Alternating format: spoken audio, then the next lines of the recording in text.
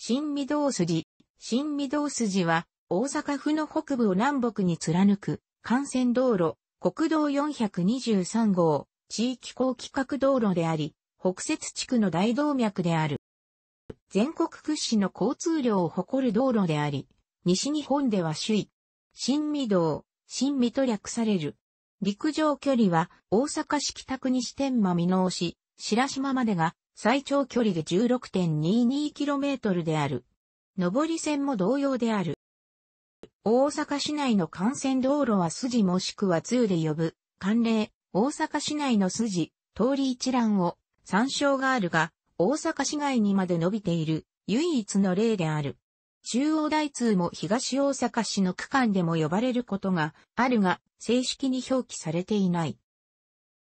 構想自体は、現在の御堂筋がまだ完成していない時点からあり、1926年の高速鉄道地下鉄計画では、御堂筋線が江坂付近まで予定され、1932年、昭和7年の大阪市第二次都市計画事業の中では、北野豊津線という路線が予定されていた。戦前の時点では新淀川に架ける新淀川大橋の地下鉄部分の橋脚が完成していたが、資金難と太平洋戦争勃発で工事は中止。戦後の1961年、昭和36年に東海道新幹線の終点が工事計画地上の新大阪駅に決定したのに伴い工事が再開。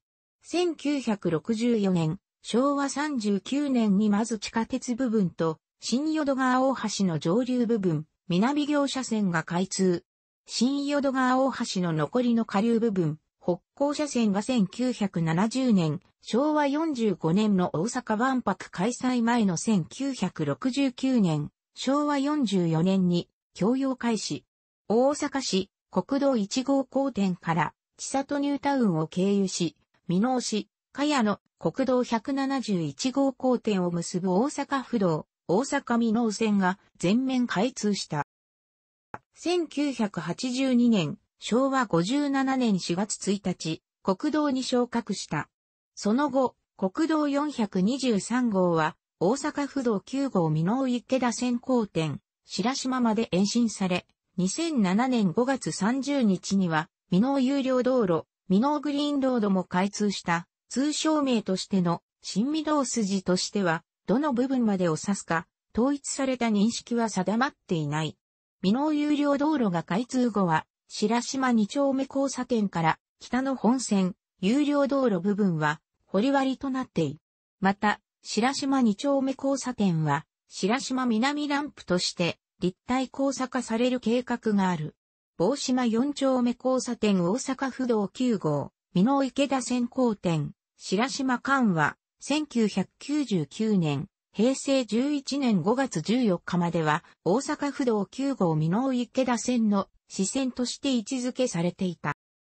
2003年、平成15年3月、梅新南オフランプ完成。従来は、大阪市内中心部への出口は、起点部の南森町ランプと、梅新ランプしかなく、御堂筋、国道25号26号に流入するには、梅新ランプを降りて、同1号倍新東交差点の信号を越えなければならなかった。このために、朝夕の渋滞時には新淀川大橋を越える渋滞もしばしばであった。このために、梅、新東交差点をオーバーパスすることが検討され建設されるに及んだ。この新御堂筋引く御堂筋、直結オフランプの完成、供用開始は、大阪市内中心部業の渋滞緩和に大きく寄与している。開通当初から渋滞緩和と大気汚染防止の観点から日曜日と祝日を除いた午前9時午後7時までの間は、新淀川大橋以南は大型車の通行が禁止されていたが、2005年、平成17年8月29日より観光バスに限って通行規制が解除されることになった。豊崎、新淀川大橋から千里インターまでの区間、大阪市高速電気軌道御堂筋線及び北、大阪急行を上下線で挟む構造。起点から美濃志望島4丁目交差点までの間は、本線、上下2車線、側道、上下2車線の合わせて上下4車線である。この本線部と交差道路とはすべて堀割り、または高架で通過するので信号機はない。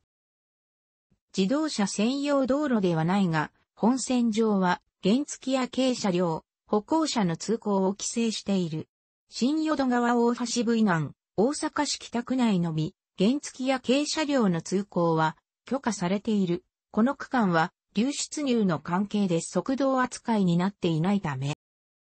ほぼ全区間の本線部分は高架部分が多く、上下に車線ずつだと交通量に比して明らかに道幅が狭い。本線上と速道側との車速に違いが大きすぎ合流、離反に困難をきたし、そのために交通量が増す。平日の朝夕には確実に渋滞が発生している。特に、千里ジャイクション部神崎川橋梁部間。ラジオの道路交通情報では千里、中央ジャンクションから梅新東まで通常は、ところ時間20分と放送しているが、渋滞時は1時間以上と放送することもしばしばあった。また側道から本線への合流地点の一部では、加速車線がほとんどないため非常に危険で、事故も頻繁に発生する。非常駐車帯も路肩の余剰スペースもほとんどないため、事故で車線が塞がれると、直ちに渋滞が発生する。当初、計画段階から、千里ニュータウン、大阪北部地域と大阪市内中部を結ぶ前提で計画されていたことにより、神崎川橋梁部緑地公園駅間は本線に流出入することができず、その後、地下鉄江坂駅や北大阪急行電鉄緑地公園駅付近が開発されてからは、さらに流出入の車両が増えたため、本線はオーバーフロー状態である。かつて名神高速道路のアンダーパス部に信号機があった。この本線区間は地上部を側道部と並行して走行しており、地域住民の往来が分断されるので歩行者用の信号機が設置されていた。しかし、千里丘陵部と江坂高架部の谷間に当たり見通しが悪く、速度も出ている区間なのでしばしば信号が見落とされ、死亡事故が多発したため、信号機、横断歩道は廃止され、歩行者用横断高架橋が設置された。スピードが出る路線にもかかわらず、基本的には、パトカーや白バイによる取り締まりはしない、見直し行きは除く。やはりこれも検挙中に一車線が塞がると渋滞が発生するためと思われる。ただしレーダーによる取り締まりは退避場所がある区間のみ行っている。また、当道路が無料で最速最大経路となるためか、交通量は終日、全線にわたり非常に多い。楽しくご覧になりましたら、購読と良いです。クリックしてください。